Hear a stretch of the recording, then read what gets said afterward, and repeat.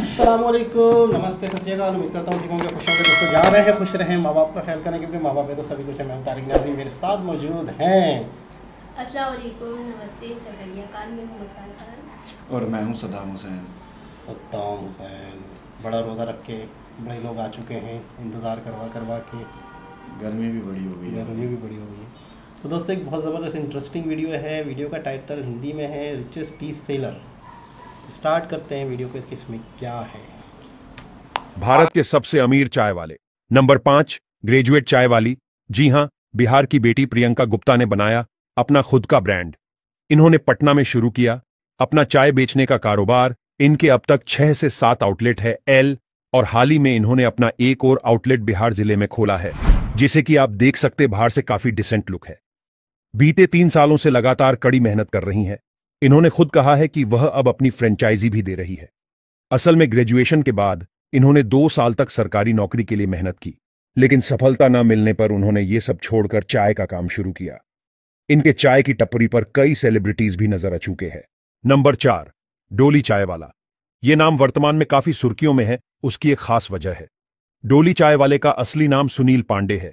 ये वही इंसान है, जिसने माइक्रोसॉफ्ट के सीईओ बिलगेट्स को चाय पिलाई थी। इंटरनेट पे इनके कई फॉलोअर्स है।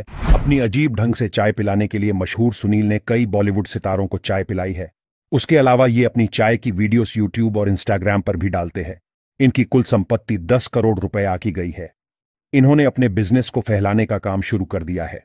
नंबर तीन, चाय सुत्ता बार। आप सभी इसको अच्छे जानते होंगे।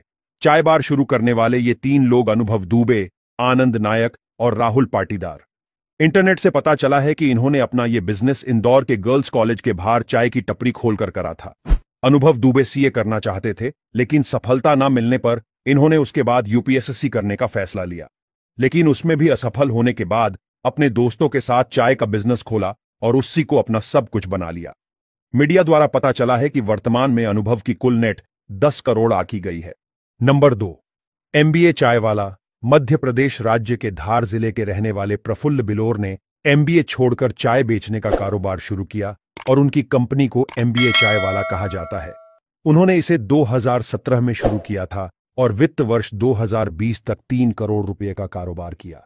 प्रफुल्ल जो अब अहमदाबाद में रहते हैं और पूरे देश में एमबीए चाय वाला के नाम से मशहूर हैं। बिज़नेस इंसाइडर की रिपोर्ट के अनुसार, उन्होंने भोपाल, श्रीनगर, सूरत और दिल्ली सहित सौ से अधिक शहरों में अपने कारोबार को बढ़ाया है।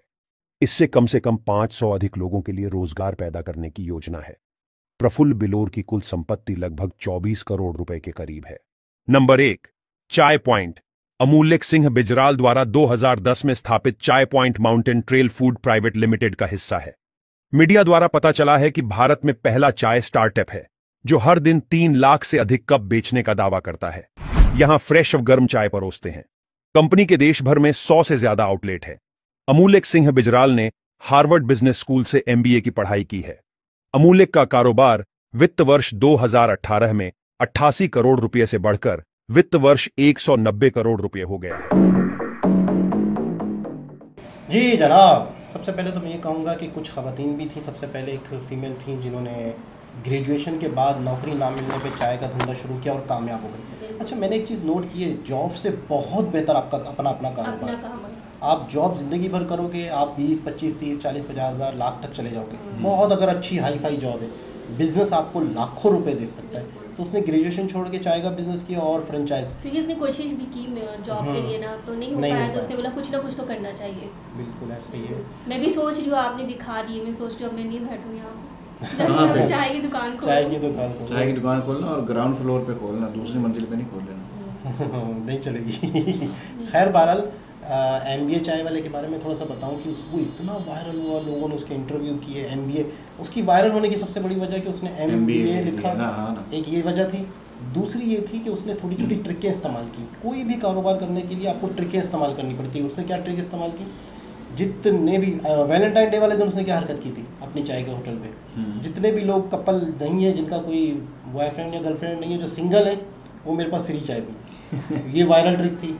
एक ट्रिक उसने और इस्तेमाल की कि जितने भी डॉक्टर जो इंसानों की सेवा करते हैं जितने भी पुलिस वाले जो हमारी हिफाजत करते हैं उनके लिए फ्री चाय लिख दिया उसने। हाँ ये अच्छा है। तो इसने ये आइडिया इस्तेमाल किया ये दिमाग लगाया। हाँ। इस तरह ये वायरल होता गया वायरल होता गया। फिर अब लोग इसके एमबीए चाय वाले के फ्रेंचाइज खरीदने लग गए। नहीं ये लोगों को वैसे भी खुशी से देना चाहिए क्योंकि वो ख्याल भी करते हैं लेकिन देखो, चौबीस घंटे खड़े ये भी अभी मैंने बताया मैंने उसका सुना मैंने मैंने आप आप तक बताई आपको बताई आपको एकदम दिमाग पे लगी बात। इस तरह कोई भी कारोबार करने के लिए जो आप बिज़नेस करते हो उसके अंदर आपको कोई ना कोई ट्रिक इस्तेमाल करनी होगी। एक हाँ। चीज़ बताऊँ मैं आपको। पुलिस होते हैं है ना एक तो हाँ। जिनकी देखें बैठ के भी इंसान जो काम कर रहा है चाय वाला उसको भी पैसे मिल रहे हैं। पुलिस को भी पैसे मिल हैं लेकिन उसका काम ऐसा होता है रोड में काम होता है। मेहनत वो हमारे खड़े रहना पड़ता है कोई वाक्य हो कोई मसला हो गया कुछ भी हो तो हमारा ही ख्याल कर रहे होते हैं। तो वो उन्होंने अच्छा किया है कि इन लोगों के लिए चाय फ्री हो खाना कुछ भी हो उससे जितना भी हो सके इनका ख्याल करना चाहिए। बिल्कुल ऐसा ही और मांगने वालों जो जिनकी नफरी सबसे ज़्यादा है वो बेकारियों को। उनके लिए उनके लिए तो सख्ती से मना वो कर तो खुला है सलानी तो खुला हुआ है ना लेकिन वो तो हर जगह जाते हैं ना। फिर भी चाहते हैं ये ये क्या बात है?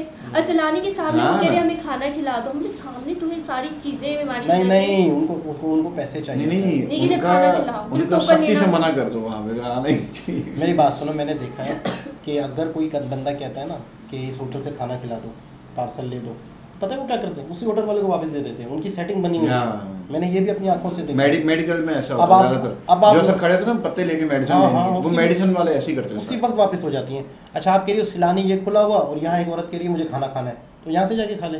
हाँ। उनको- उन्हें नहीं टोकन लेना पड़ेगा ये वो तो नहीं, नहीं, नहीं, कुछ नहीं कुछ नहीं है वहाँ पे सारी चीज़ें माशाल्लाह से यहाँ पर अच्छा चाय कराची में बहुत चलती है तो पंजाब में भी पूरे पाकिस्तान में चलती है इतनी चाय? वहाँ तो इतनी कराची में इतने चाय के होटल है आमने सामने मैं। कहता हूँ ये अरबों का बिज़नेस है हम कराची। छः छः महीने वहाँ चाय नहीं पीते। मतलब घर पे सिर्फ़ सिर्फ़ घर में तो- चाय चलती है पंजाब की बात अच्छा एक और मैंने चीज़ नोट की है अगर कराची में अगर कराची में कोई साफ़ सुथरी लड़की पैंट शर्ट पहन के चाय बेचे हूँ। ओ हो मैं कहता हूँ इतनी वायरल हो जाएगी इतनी वायरल हो जाएगी अब मुस्कान का दिमाग नहीं मेरे बारे में तो बात नहीं कर रहे हैं। मतलब हमारी कर रहे मुस्कान मुस्कान का दिमाग काम कर रहा है कि ये अब शुरू कर देते हैं धंधा नहीं, नहीं, मुझे तो पहले है चाय है उसके अंदर- यानी आप इसके अंदर कॉन्फिडेंस भी है चाय बेचने का? बहुत नहीं आप बे- आप बेचोगे अगर कोई इन्वेस्ट करे तो। अच्छा है ना पैसे आते रहे इसमें थोड़ी बेचनी इसने तो बनानी है खड़े होकर थोड़ी थोड़ी तो आपने बेचनी। है आप इसने तो नहीं मैं बनाऊँगी मैं बनाती हूँ मैं बहुत अच्छी चाय बनाती आप एग्री हो इस धंधे में? शर्म तो नहीं करोगी? नो पक्का? पक्का। बस ठीक है तो हम फिर लियारी में चाय चाय बनाऊँगी तो आप लोग भी आइएगा फिर लियारी में क्यों नहीं? कहीं भी कहीं भी खोल लो। लियारी में क्यों खोलेंगे? क्या मैंने कहा शर्म नहीं आ रही लियारी में भी करा। तो खैर बहरहाल हिम्मत करनी पड़ती है खातन को भी किसी को भी और चाय बहुत बड़ा बिज़नेस है बहुत बड़ा बिज़नेस है हमारे यहाँ पे बैठने की जगह नहीं होती पार्क नहीं होते तो इंसान चाय के होटल पे बैठ के मीटिंगें करते हैं गपशप हाँ। करते हैं चाय मजबूरन ना भी दिल कर रहा हो तो पीते हैं पीते ही रहते हैं और चाय हमेशा एक रस्म हो गई अगर कोई बंदा किसी से मिलने जा रहा है लाजमी चाय एक हमारे यहाँ रस्म हो चुकी है आपने चार चाय पी ली है। पाँचवें ऑफ़िस में किसी मीटिंग में जाओगे अच्छा, तब भी आपको चाय जब भी चाय पीनी पड़ेगी। पंजाब में क्या है? पंजाब में ज़्यादा कोल्ड ड्रिंक चलती है। अच्छा। हाँ मतलब वो उनके एरिया वाले यार जाओ कोल्ड ड्रिंक लेके आओ। चाय अच्छा। का बहुत कम होता है क्या? इस तरह होटल भी नहीं है चाय के? नहीं है नहीं। बहुत ना होने के बराबर। वो पंजाब वाले ना वो वो शहर वो बनने वाली कोशिश कर रहे हैं। अमरीका के कोल्ड ड्रिंक लेकर आओ ये लेकर आओ। नहीं, मौसम- कौन सा चाय नहीं, नहीं, वहाँ मैं तुम्हें बताऊँ वहाँ लोग पसंद करते हैं घर की चाय। वहाँ दूध वगैरह वहाँ घर की चाय नहीं नहीं हर इलाके का एक माहौल होता है कल्चर होता है। अब कराची का हाँ। कल्चर चाय का बना हुआ है। तो कराची में कोल्ड ड्रिंक भी चलती है बहुत हाँ। चलती है। खैर बहुत ज़बरदस्त वीडियो थी और उसके बारे में तो आप और बताएँ। वहाँ इस तरह का पराठा भी नहीं बनता तुम्हें पता है? पूरे पंजाब में ऐसा पराठा नहीं बनता। अच्छा। जो उसके हाँ। बारे में तो बताएँ। वहाँ पे नॉर्मल पराठे होते हैं घर जो बिल गेट्स को चाय पिलाई जिन्होंने। हाँ चाय पिलाई उसके कितने टिकटॉक देखे आपने? टिकटॉक में देखी नहीं खुद ही आ रहे थे शो कर रहे थे खुद से ही। आते जा रहे आते वो शक्ल से शक्ल टिकटॉकर लग रहा है। वायरल है वायरल है वो बंदा। बहुत ही फ़ेमस है। तो चले दोबारा किसी और के साथ आपसे मुलाकात होती है जब तक के लिए अल्लाह हाफिज़।